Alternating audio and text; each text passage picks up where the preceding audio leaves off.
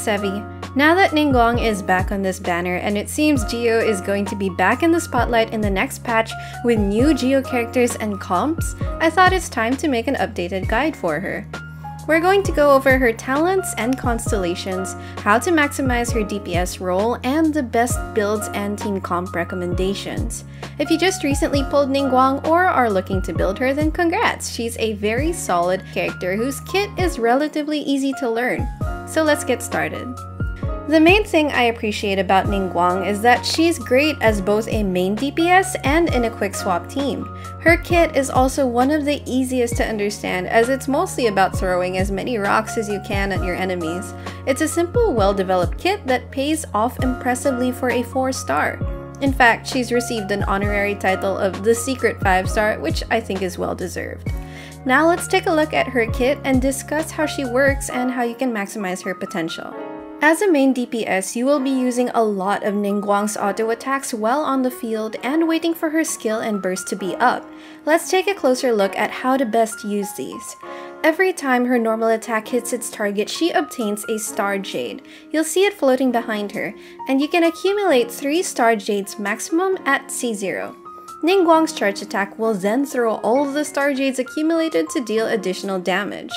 Her normal attack multiplier is low, although it hits twice and gets better at C1 but it's her charged attacks you want to take advantage of because of its higher multiplier and added star jades. Unlike other characters, she doesn't have an attack string that builds up damage. As you can see from the talent details, it's just her normal attack with 1 damage multiplier, then her charged attack. So Ningguang's attack rotation will be something like 1 normal then charged or 2 normals then charged. So you might be thinking why not 3 normals to get all 3 star jades then charged attack? Well, that's perfectly fine too, but since her charged attack multiplier scaling is so much higher than her normals, you could potentially deal more damage the faster and more often you use her charged attacks. Still, that's a bit nitpicky already. Any of those rotations are completely usable. Just make sure to use her charged attack when you have the maximum star jades. You also don't have to worry too much about stamina consumption because Ningguang has a passive talent that removes your charge attack stamina consumption if she possesses Star Jades. It's also important to note that Ningguang's normal attacks have a slight animation problem. If you simply stand still and click your attack button, your animation speed is quite slow. To solve this, all you need to do is a simple trick called walk cancelling. Walk canceling Ningguang is probably the most essential thing to know and learn if you want to main her. Comparing side by side, you can see how her attack string is significantly faster just by pressing W or walking forward while you're tapping the attack button. This way, you can string your normal attacks more smoothly and accumulate Star Jades faster. Ningguang's skill, which summons a Jade screen, has a couple of functions that add to her DPS role and offer some support utility. You just have to be conscious of where you place it though. If it interferes with another Geo structure or a large enemy, it will break right away. Her screen deals AoE damage when it's summoned, and when her last passive talent is unlocked, the screen will provide a 12% geo damage bonus to characters who walk through it. It's useful for geo comps since you can just stay around it and keep walking back and forth as you switch characters. It's also counted as a geo structure and can resonate with Zhongli's pillar. If Itto and Gorou have talents that also take advantage of geostructures, then her Jade Screen will be even more useful. You can't climb it unfortunately, but it can block enemy projectiles like arrows. In the good old days of Abyss's Floor 11 monolith, I used her Jade Screen to protect it. Finally, Ningguang's burst is what generally makes her busted. It only has a 12 second cooldown and a 40 energy cost, making it easy to rotate in a quick swap team and easy to use with her as a main DPS. Just be aware that you want to place Ningguang's screen before her burst since the Jade screen adds projectiles too. So how would her burst DPS rotation go? Well, you would want her Jade screen on the field first, have Ningguang walk through it for the geo damage bonus, cast her burst, and if she's on C6, perform her charged attack. One big don't from experience is to unleash her burst in enclosed spaces like corners or caves or right in front of geostructures. The projectiles will collide with those instead of the enemies. The talent level priority is her burst, then her normal attacks, then her skill. That's pretty much her kit. Simple, straightforward, and once you get used to the pattern, she's very easy to use. Though her kit is decent at C0, she really shines with her constellations. Let's go through them one by one. I think that C1 is a significant step to unlocking her potential as a main DPS since it gives her normal attacks AoE damage, but the enemies have to be really clumped together. It makes her great against mobs and even better if you have crowd controlling characters like Venti or Mona. C2 resets the cooldown of her skill if the Jade screen breaks, which actually benefits her in a few ways. It helps ensure that your Jade screen is almost always up, so your Geo characters can get the Geo buff reliably. It lets her potentially deal skill damage twice in a row if the first Jade screen was destroyed right away or if you break it when casting her burst. Basically, C2 will ensure that your Jade screen is up when you use her burst. Again, remember that the shield will also fire additional projectiles along with Ningguang's burst, so it's a significant loss if you don't have it up when you use her burst. C3 increases your burst talent level, which of course just makes Ningguang's burst even more deadly. C4 is probably her least relevant constellation, but it's still a good buff to have for your team to receive less damage. It also helps with Ningguang's survivability, which is very much needed.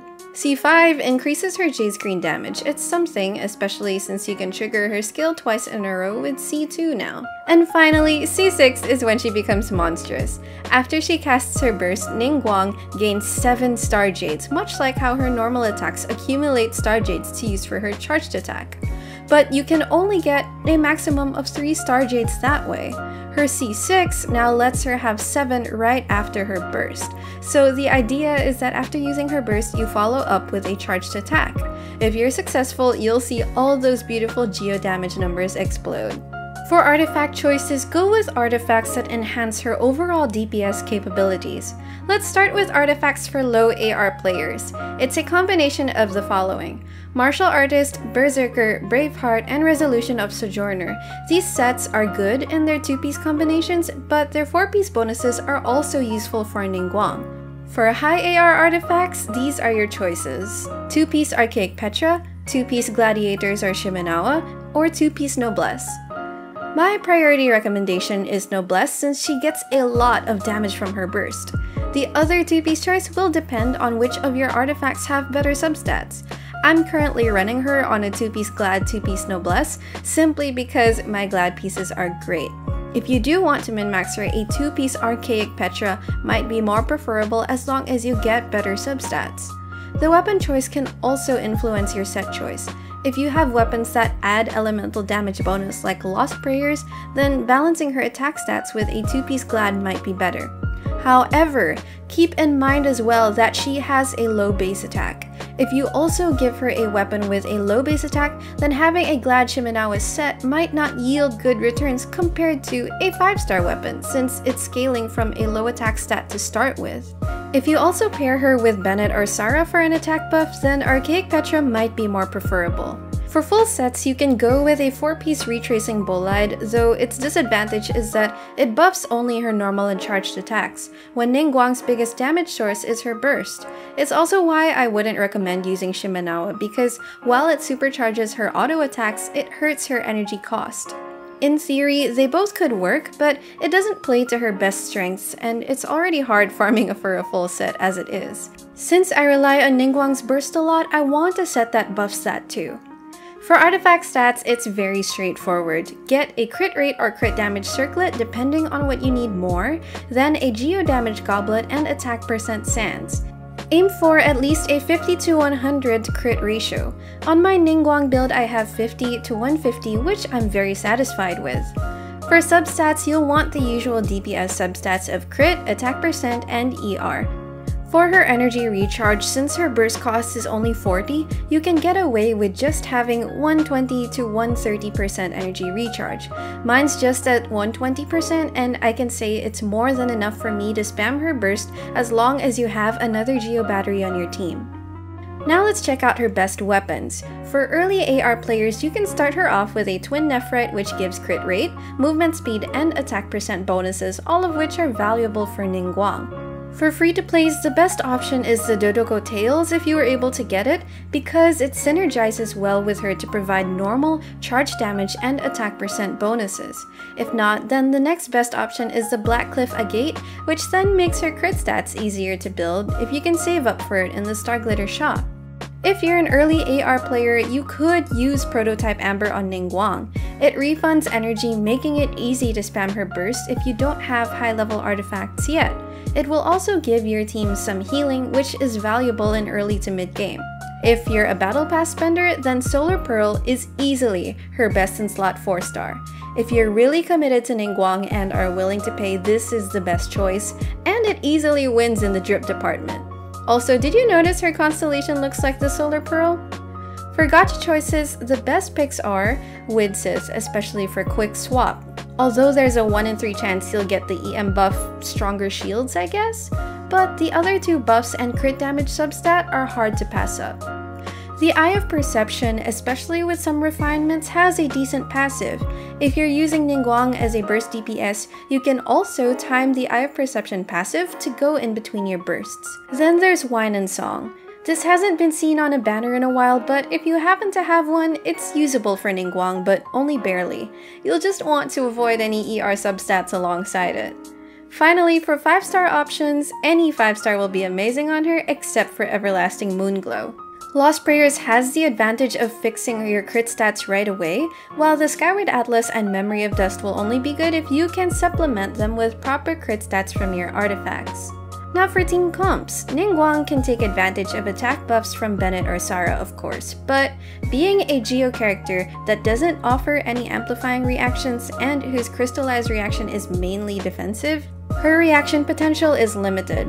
So aside from buffers, her best teammates are really Geo characters and shielders. With another Geo character, you can battery each other and give you Geo Resonance, which lowers resistance of enemies. This is the best alternative since the Viridescent Venerer effect doesn't apply to Geo. Shields are essential for Ningguang, especially as a main DPS because she's quite squishy. If you have Zhongli or a well-built Noelle, then great. But if your other Geo characters are limited to Albedo or Traveler, I would recommend running a double Pyro double Geo team for Pyro Resonance, Geo Resonance, and so your crystallized reactions have something to react with. Crowd control teammates would also highly benefit Ningguang since at C1 her projectiles deal AoE, so clumping your enemies together would bring some very high and consistent damage. Ideally, these would be characters like Venti, Kazuha, Anemo Traveler, or Mona. Ningguang can also of course work well with your regular 4-star off-field DPSs like Fischl, Xingqiu, Beidou, and Xiangling. And for cheap Geo Resonance, Noelle is there too. So everyone, that's my updated and comprehensive guide on Ningguang. As of now, her kit is pretty timeless. No recent artifacts or weapons have radically changed her power level or potential, and while I would love to see MiHoYo give her some attention, she has always been a solid unit and will continue to remain that way. And I'm beyond excited to see Geo back in the spotlight again in the next patch. So what about you? Are you an aspiring or veteran Ningguang main? As always, if you have any questions or advice to add, leave it in the comments below. If you like this video, don't forget to give it a thumbs up and consider subscribing to my channel and turn on that notification bell button for more guides, discussions, and helpful videos for Genshin Impact. I will see you soon. Take care!